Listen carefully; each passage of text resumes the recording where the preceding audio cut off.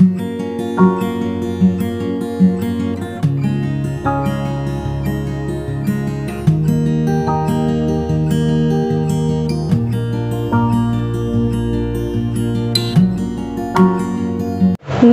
दोस्तों, मैं हूँ ममता तिवारी और आप सभी का स्वागत करती हूँ मेरे चैनल ममता जुए में। कैसे हैं आप सब? तो चलिए दोस्तों, कि जितनी मेरी बहनों ने कहा था, दीदी, रात को कौन कौन से कार्य करते हैं? और कौन कौन से कार्य हमें नहीं करने चाहिए तो इसी के ऊपर आज का ये हमारा वीडियो है।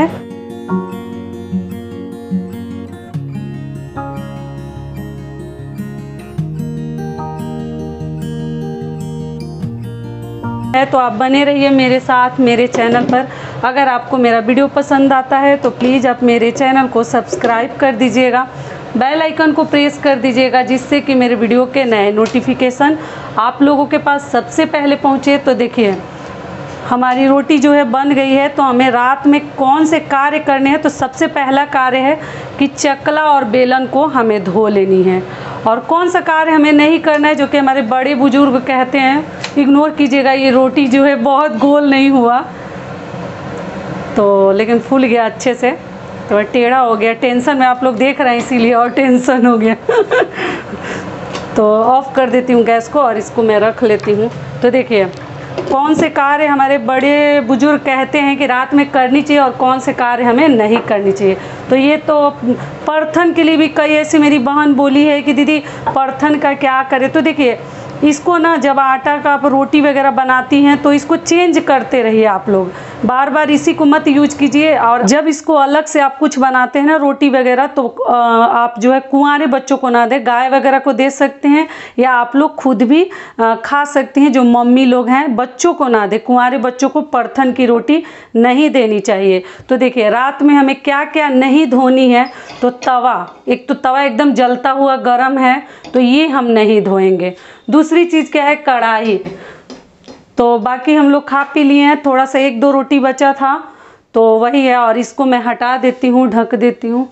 और देखिए, रात में हमें चकला बेलन धो के सोनी है। इसमें हमें दोष नहीं लगेगा, आप लोग आराम से इसको मैं भिगा देती हूँ।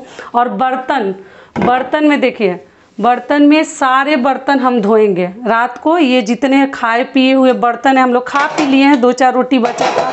बस वही मैं आपको समझाने के लिए केवल दिखा रही हूँ। इसको पलट के रखी थी, दूध वाले बर्तन को इसमें बनाई थी खीर और सेवई।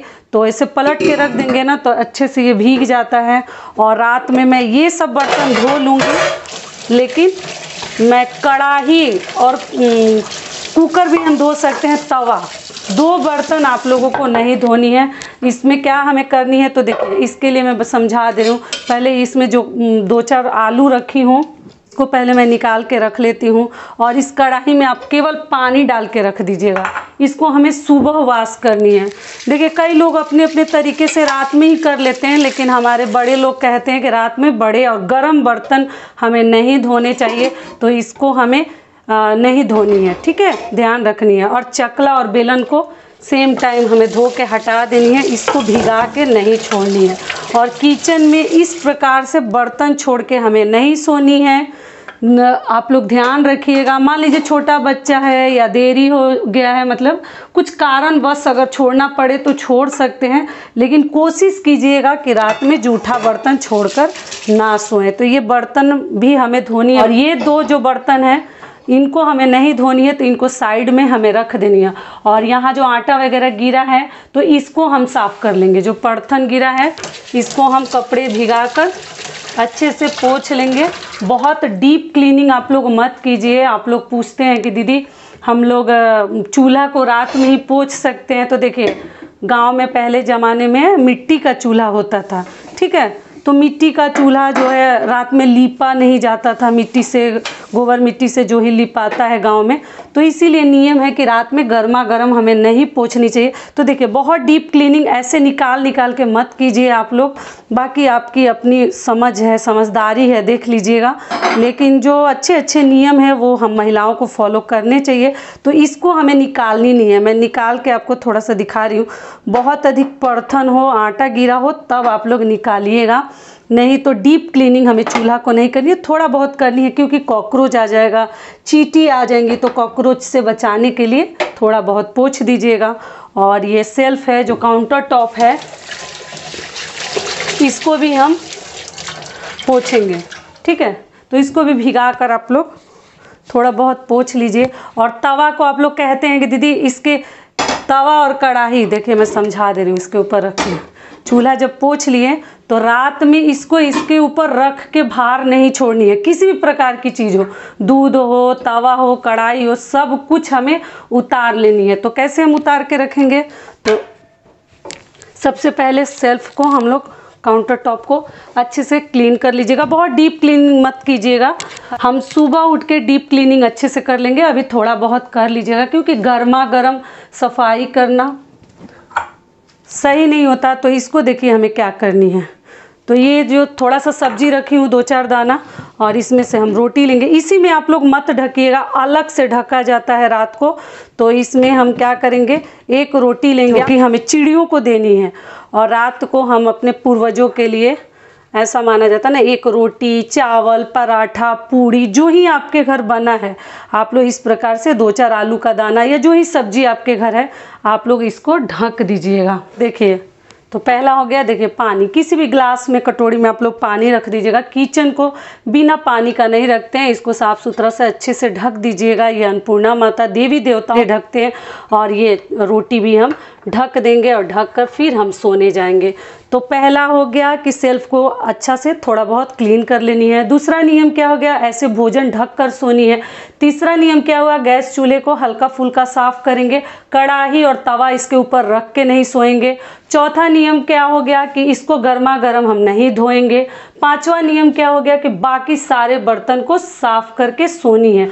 और जितने आपके और भी जो काउंटर टॉप है, इनको भी अच्छे से रात को ही थोड़ा बहुत क्लीन कर लीजिएगा। ऐसे सुबह तो हमें फिर करनी है। सुबह के लिए मैं वीडियो डालूँगी, आप लोग बार बार डिमांड कर रहे हैं दीदी, जल्दी से वीडियो डालिएगा। ठीक है, मैं कोशिश करूँगी। तो देखिए, ये हो गया तो किचन हमारा क्लीन भी हो गया और ये बर्तन को मैं उतार कर रख देती हूँ। इसको मैं हटा के दूसरी जगह ट्रांसफ़र कर देती हूँ। और यहाँ पे तवा को देखिए, तवा को कभी ऐसे नहीं रखते हैं, ठीक है? और खड़ा भी नहीं रखते हैं। खुला रखेंगे, कोई मतलब जानवर वगैरह इसके ऊपर गंदगी कर देगा, फिर आप उठाएँगे, तवा रख देंगे। तो नियम है कि तवा को कभी भी पलट कर रखें। लेकिन देखिए, कई लोगों को भी ये नियम अच्छा नहीं लगेगा, पता नहीं उनके यहाँ कैसे रखा जाता है। लेकिन हमारी दादी कहती थी कि नहीं, तवा को ऐसे रखेंगे तो मान लीजिए कोई छिपकली हो या कोई कॉकरोच हो या कुछ गंदगी इसके ऊपर रख के चला जाए और फिर कोई पोछे ना सा, कभी भी तवा को करें मतलब इसके ऊपर रखें तो साफ़ करके ही रखें। तो इसको भी हम पलट कर रखेंगे, ठीक है? आप लोग पूछते भी हैं, तवा कैसे रखते हैं? और इस कढ़ाई को मैं सुबह माजूँगी अभी वाश नहीं करूँगी तो कढ़ाई को भी मैं उतार कर रख दी। और ये भगवान के लिए मैं ढक दी भोजन। तो और देखिए, इसमें जो पानी है ना, इस पानी को हम फेंक देंगे, कढ़ाई में नहीं रखेंगे, और सुबह हम इसको वाश करेंगे।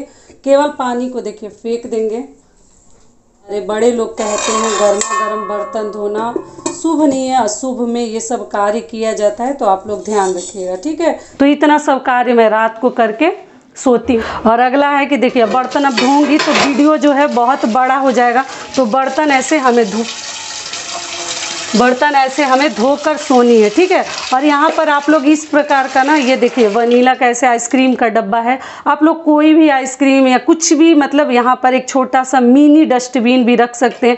इसमें मैं क्या करती हूँ छोटे छोटे चावल रोटी के जो टुकड़े होते हैं, इसमें इकट्ठा करती हूँ। ये बहुत हैंडी है। बार बार हमारे कमर पर जोड़ नहीं पड़ता डस्टबिन में डालने में, पैर से दबाने में। तो ऐसा आप लोग किचन में ज़रूर रखें मिनी डस्टबिन। तो ये अभी धोऊँगी नहीं। अगला नियम क्या है कि कई ऐसी बहनें मेरी रात रात में ऐसे मैं झाड़ू नहीं लगाऊँगी, बस आपको समझाने के लिए बता रही हूँ कि रात में ना जैसे झाड़ू लगाने लगती है तो हमें झाड़ू नहीं लगानी है। एक बहन मेरी बोली थी दीदी मैं तो रात में ही झाड़ू लगाती हूँ बिल्कुल मत लगाइएगा। देखिए मैं झाड़ू लगा के समझा दे रही हूँ मुझे नहीं लगानी चाहिए लेकिन वीडियो के लिए जो जो करना पड़ता है। तो ये हो गया किचन का काम आधा अधूरा की हूँ कुछ भी साफ़ नहीं की हूँ चूल्हा हल्का फुल्का कढ़ाई वगैरह तवा नहीं धोएँगे याद रखिएगा लोग बड़े बर्तन नहीं धोया जाता है और वो बर्तन मैं बाद में साफ़ करूँगी जो कि मैं बता दी। और दूध है आटा एक्स्ट्रा बचा है सब कुछ फ्रिज में रख दीजिए ऐसे तो सभी को मालूम होगा और फिर हम सोने जाएँगे। तो सोने से पहले क्या करनी है तो वो भी करके मैं आपको थोड़ा सा दिखा देती हूँ। तो देखिए, मैं भगवान के रूम में अभी नहीं जाऊँगी, लेकिन आप लोग जाकर पर्दा वगैरह हमारे घर में फैला देते हैं भगवान का।